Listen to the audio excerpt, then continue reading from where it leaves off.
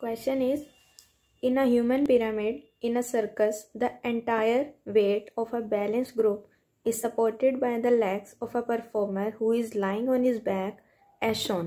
तो ये फिगर हमें गिवन है तो ये आपको फिगर गिवन है क्वेश्चन में इसको ध्यान से देख लो और फिर वापस आएँगे इसी सेम फिगर पे now the combined mass of all persons and tables etcetera is 280 kilogram and the mass of a performer lying on his back at the bottom of pyramid is 60 kilogram तो हमें क्या given है? तो अगर ये figure को आप ध्यान से देखो तो ये कुछ इस तरह बनी हुई है।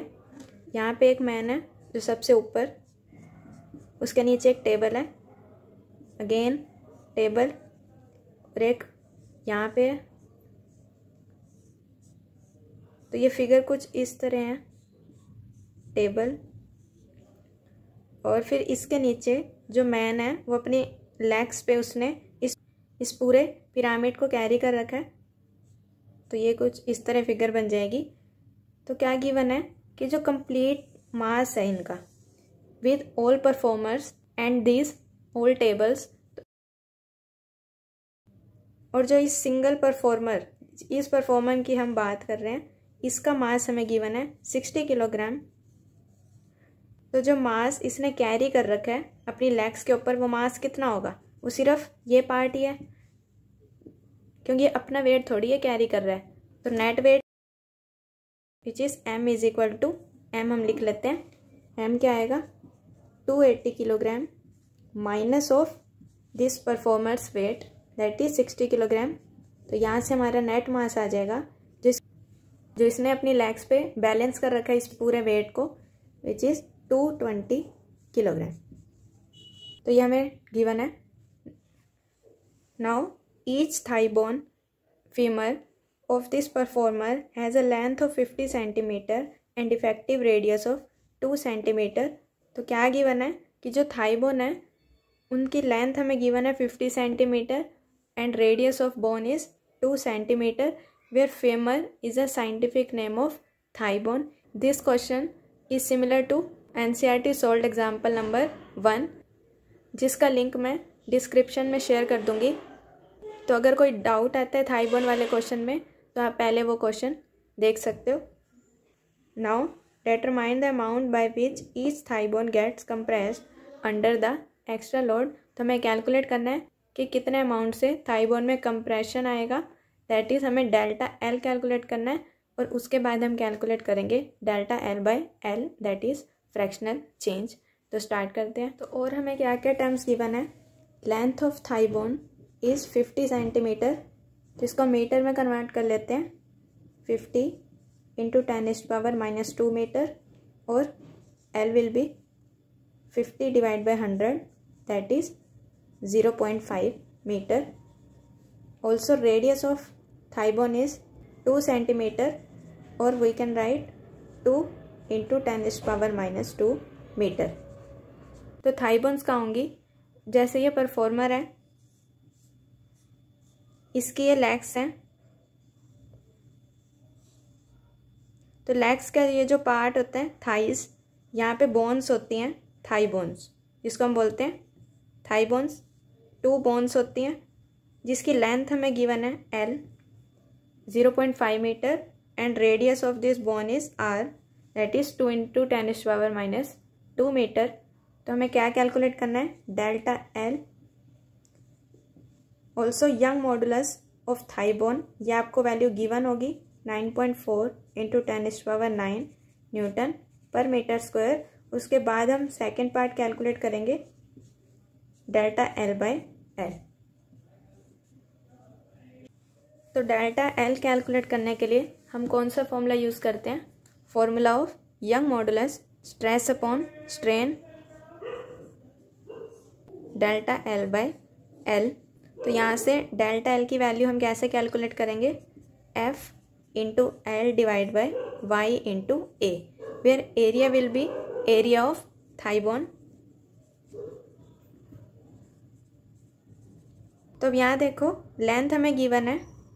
तो एरिया हम डायरेक्टली कैलकुलेट कर सकते हैं बिकॉज़ रेडियस हमें गिवन है then area will be pi R square Young modulus ये टर्म भी गिवन है, अब फोर्स क्या होगा? तो ये फोर्स कहाँ से आएगा? कि लेग्स के ऊपर जितना वेट एक्ट हो रहा है। तो इन लेग्स ने कितना मास बैलेंस कर रखा है? This mass is two twenty kilogram net mass है टू ट्वेंटी किलोग्राम और हमने कैलकुलेट करनी है delta L for one thighbone तो वन थाईबोन के लिए मास डिस्ट्रीब्यूट हो जाएगा। नेट मास है टू ट्वेंटी किलोग्राम दो, दोनों थाईबोन्स के लिए। तो एक थाईबोन के लिए कितना मास होगा? M will be two twenty divide by two that is one one zero kilogram दोनों लेग्स टू ट्वेंटी किलोग्राम को इक्वली डिस्ट्रीब्यूट कर लेंगी। तो तो एक बोन के लिए हम मास लेट करेंगे वन वन ज़ीरो किलोग्राम तो फोर्स कितना होगा?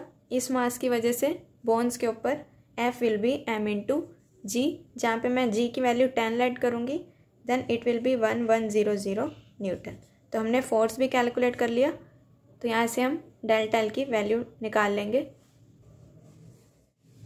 तो इसमें वैल्यूज़ पुट करेंगे।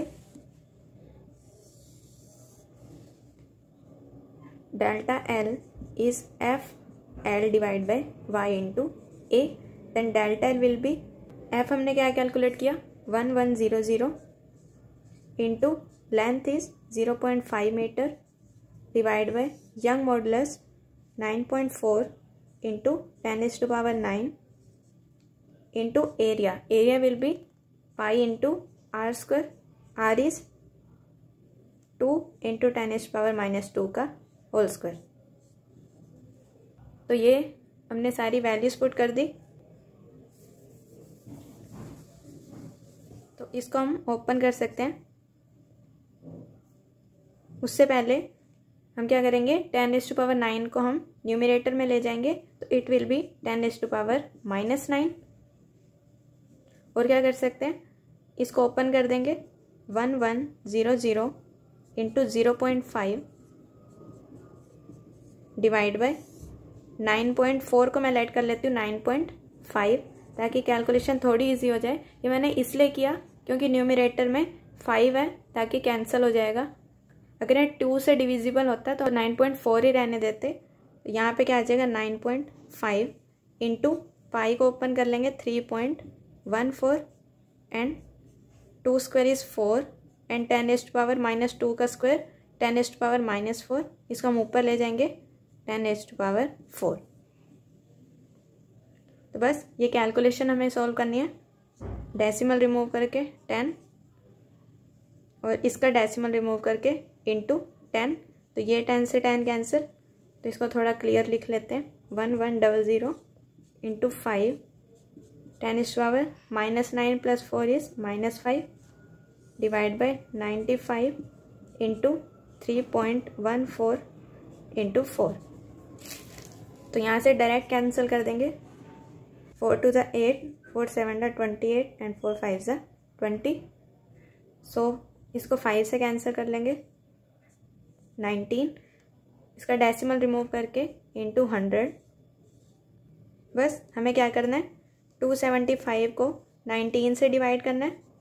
और अब यहाँ न्यूमिनेटर क्या है? हंड्रेड लेकिन डिनोमिनेटर है थ्री वन फोर तो मैं क्या करूँगी? टेन से मल्टीप्लाई एंड टेन से डिवाइड ताकि हमारा बन जाए thousand divide by three one four क्योंकि इसे हम इजीली डिवाइड कर सकते हैं into ten is to power minus four और divide by ten ten is power minus six तो इस टर्म को मैं आपको डायरेक्ट लिखने का एक वे बताती हूँ।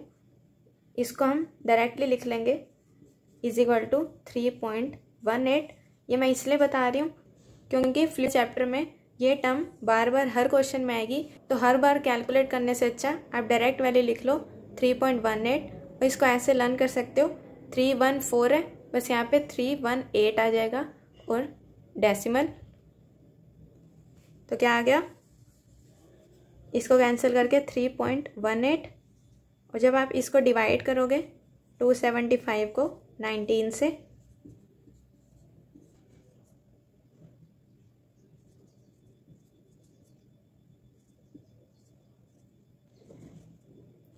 तो ये आ गया।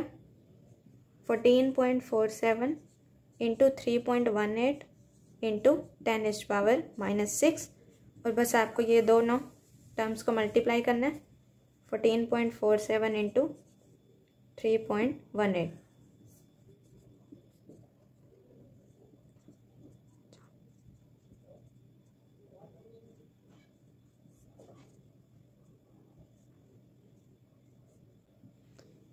answer will be four six point zero one into ten एस्ट power minus six और मैं डेसिमल को यहाँ शिफ्ट कर दूँगी।